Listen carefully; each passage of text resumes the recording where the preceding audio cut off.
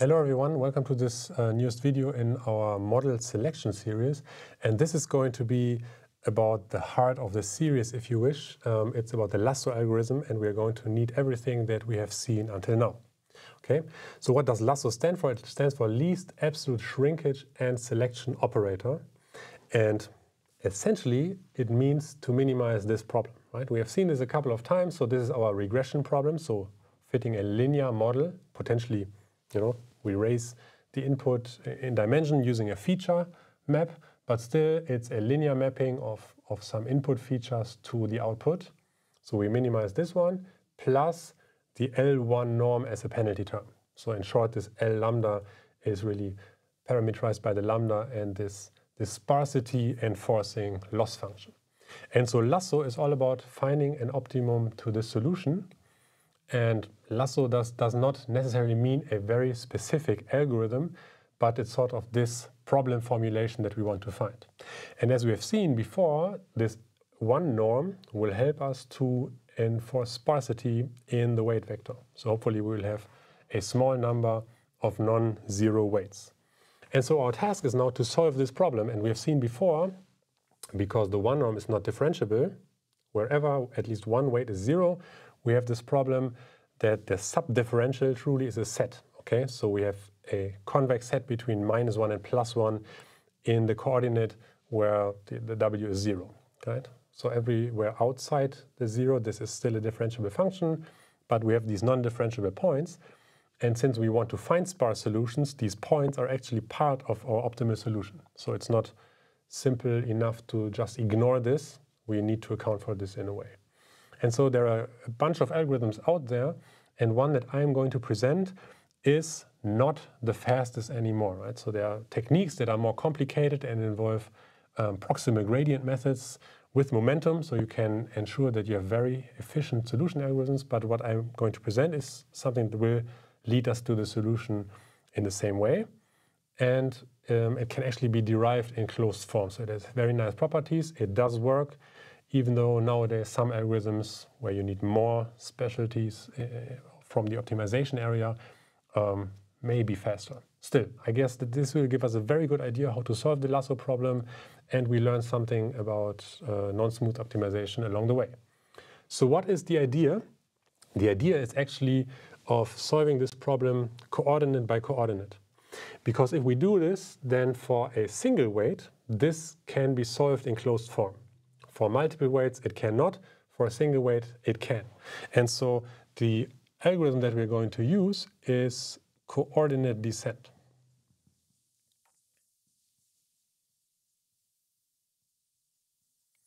And the idea is actually quite straightforward. What we do is we fix the weight vector, but not entirely, except the jth entry. Okay, so this makes it a scalar optimization problem in terms of the number of trainable parameters or parameters we need to optimize for. And then we optimize for Wj.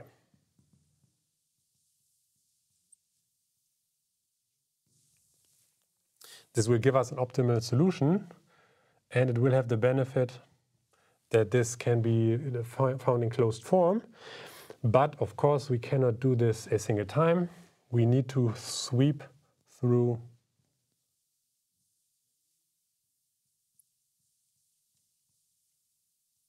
the WJs. And as if this is not enough, we cannot do it once. We need to do it cyclically multiple times. Okay?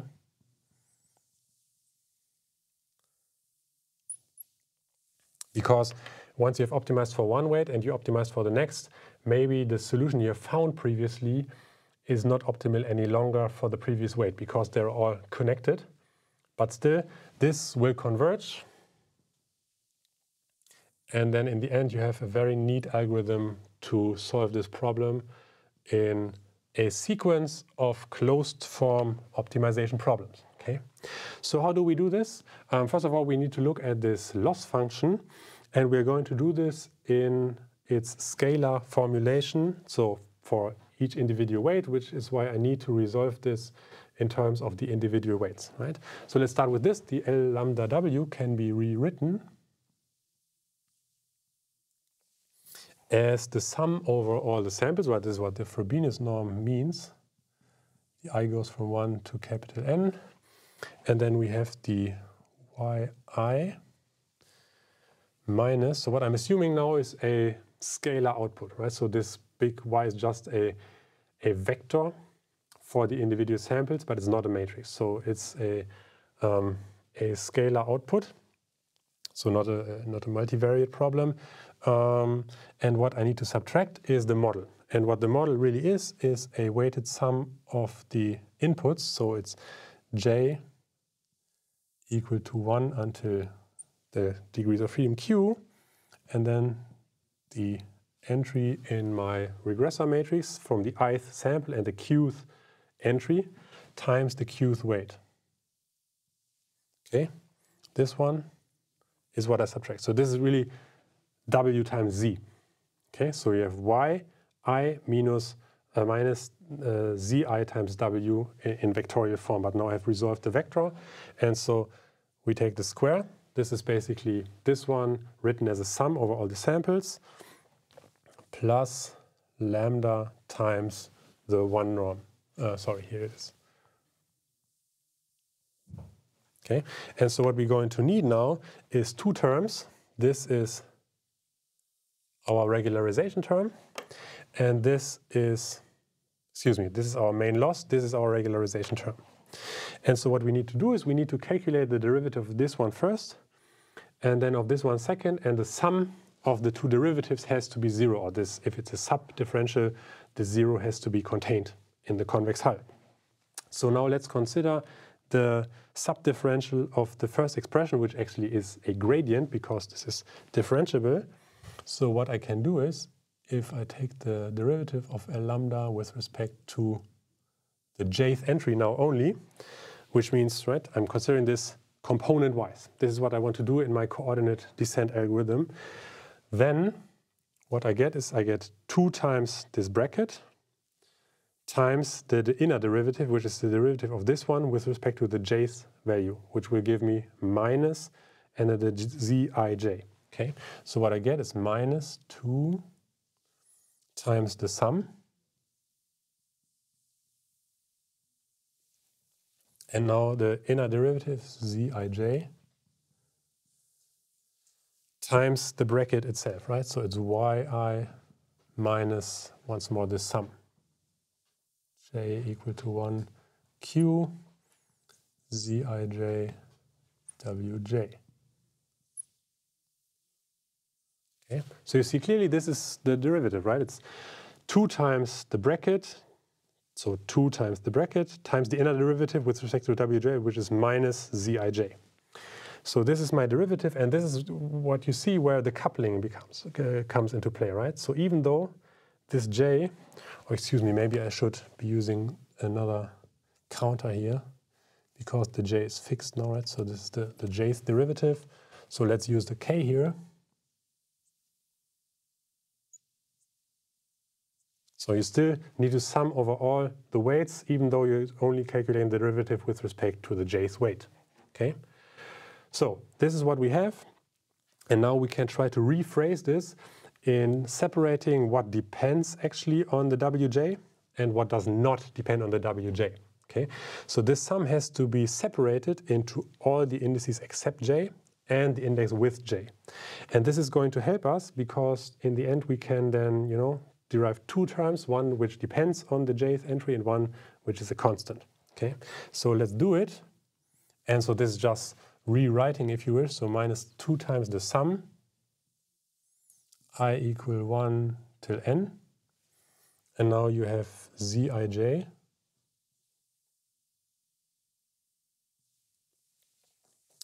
times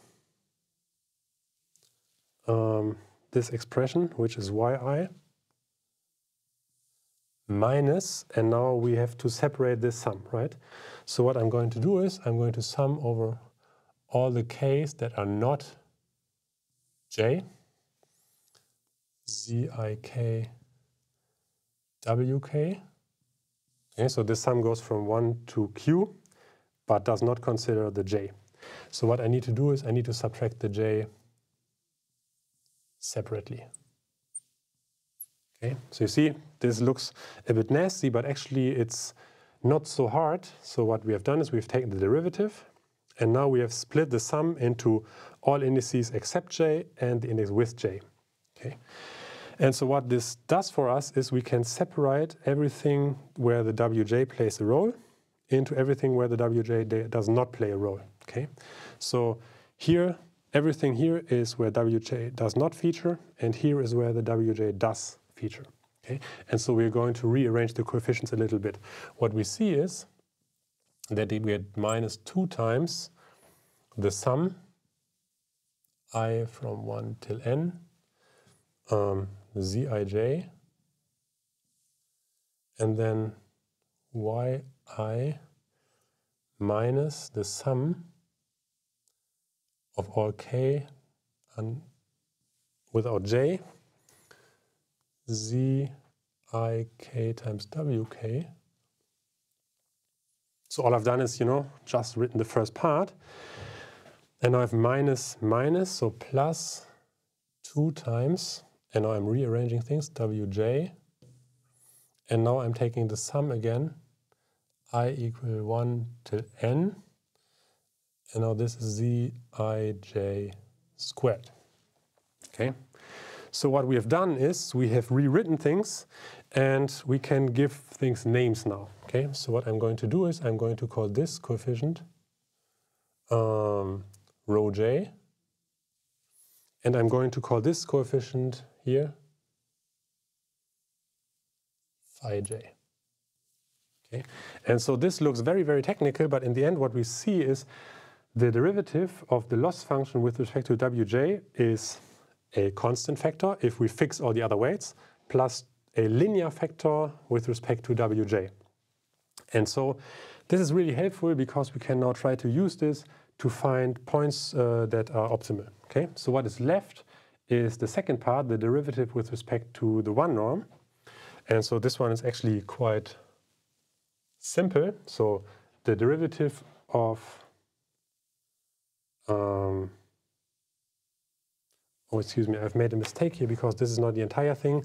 This is just the first part, which I'm going to call L here. And I'm going to call this L sparsity, right? So this is only the derivative with respect to the first part. What we need is the subdifferential of the sparsity term. Right? And there we see now that we have a case distinction Okay, what we get is this is minus lambda for wj being negative. We get the interval minus lambda to lambda for wj being zero. And we get plus lambda for wj being positive. So this is exactly the definition of a subdifferential. So it's the convex hull of the left and right side gradients, which is uniquely defined in the differentiable regions and which gives us this set at points where we are not differentiable. And so we can set these two things together to get a subdifferential for the L lambda. This is what I falsely wrote here right away. So in combination, what we get is our complete loss function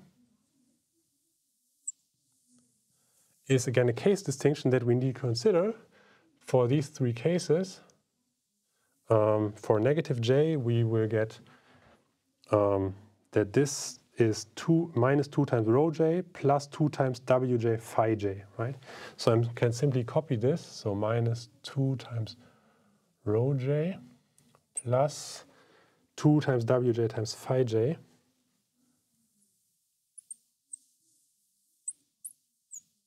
Right, so not to make confusion, this is just, I'm giving it a new name, right? Um, minus the lambda for negative wj. And then if wj is zero, we basically get the same expression, but if wj is zero, the second term vanishes. So we have minus 2 uh, rho j minus lambda to minus 2 rho j plus lambda. So we again get this interval, minus 2 rho j. This is what stays of the first one if w is 0, minus lambda, so the left-hand side, until minus 2 rho j plus lambda for wj being 0, right? Again, recall this second term vanishes. And then if we do this, the third thing again, we have just, again, this expression exactly, but not minus lambda, uh, but plus lambda. So if minus 2 rho j plus 2 omega j phi j plus lambda, in the case wj is positive.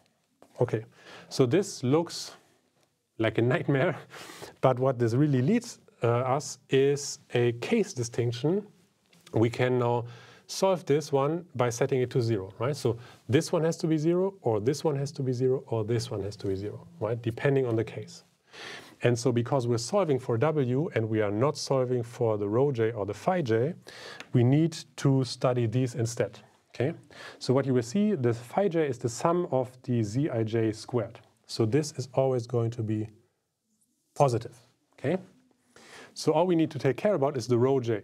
So if this were this phi j is positive, you have the case distinction in terms of the rho j to see whether this, if we set this equation to zero, leads to a negative wj or whether it leads to a positive wj.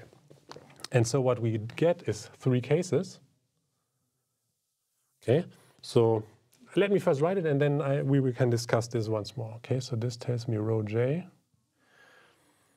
is smaller than minus lambda over 2. So what we do is we set this one to 0, right? So we have this one is 0, or this one is 0, or this one is 0. Or the 0 is contained. Let's make it clearer. the zero is an element of this one. And so if rho j is less than minus lambda over 2, so what you need to do is you need to solve this equation for the w. So what you do is you do the minus 2 rho j onto the other side of the equal sign, you do the lambda on the other side of the equal sign, and then you divide by 2 times phi j. So what you get is the wj is equal to rho j plus lambda over 2 phi j. Okay? And now you see why this condition is important. If the rho j is less than lambda over 2, you get a smaller quantity, add lambda over 2, this is still negative. And you divide by a positive quantity, so this is a negative value, so this means it's consistent with the condition. So for rho j less than lambda over 2, this will lead to a, a, negative wj. So it's consistent with this one. Um, and so what you get is this condition actually is consistent with this one. Right? And then we have the second case where we can just say the, the wj is zero, this is defined. What we need to ensure is that actually this interval contains zero, which means the rho j has to be in between minus lambda over 2, which would mean that if it's smaller, then this one is still positive, and it has to, uh, sorry, because of the minus sign, this is still negative, and between plus lambda over 2, right? So what you get is as the second case, if minus lambda over 2 is less than or equal to rho j, which is again less than or equal to plus lambda over 2, you get the answer we already know, wj is 0. Okay, so why is this the case? If you ensure this then you can make sure that the zero is contained in this interval. So you have a negative number here, you have a positive number here. For other um, rho j's, both will be positive or both will be negative, so this one is violated. And then you are in one of the other cases. And so what's left is naturally the third one, which is rho j greater than zero, uh, sorry, minus lambda over two, which will simply give you the expression like this, but solved for wj now. So wj will be rho j, you put this to the other side, minus lambda over 2 divided by phi j. Okay, so this was a lengthy derivation, but what you see now is this is really consistent. If the rho j is greater than minus lambda over 2, and then you subtract lambda over 2. This will give you a positive value. Okay, and so what we have is that this condition is consistent with the wj being positive. And so what we can find, in fact, is that um, the procedure in our optimization problem is simply you fix the wj, you calculate rho j and phi j, which are constant, given that we fix all weights except for the jth one, so this is just data. This is data, input data, output data, and the other weights. So you have these two, and then you make the case distinction for the rho, which is smaller than lambda 2, in between, or greater than lambda 2, and then you set the weight to 0 or this value or this value. And so what you will get is, for standard regression, you would get something like this. And for our case, what you now get is lambda over 2, so plus lambda over 2, and here you have minus lambda over 2. You actually get that in between this interval, you have zero weights. And then this is how your regression curve will look. And so you see, we have seen this pictorially, but now you also see this uh, from a mathematical derivation. Actually, the lambda enforces sparsity because the larger we make lambda, the more likely it is that the rho j will be in this interval. And we have a lot of zero weights. Okay, so this was a rather technical derivation, but we can use this now in the next video to actually implement the lasso and study all these things we have learned for now. So regularization and cross-validation and how to select the best lambda to make sure that we have a good sparsity, but still a small loss function value. So thanks a lot and see you in the next video.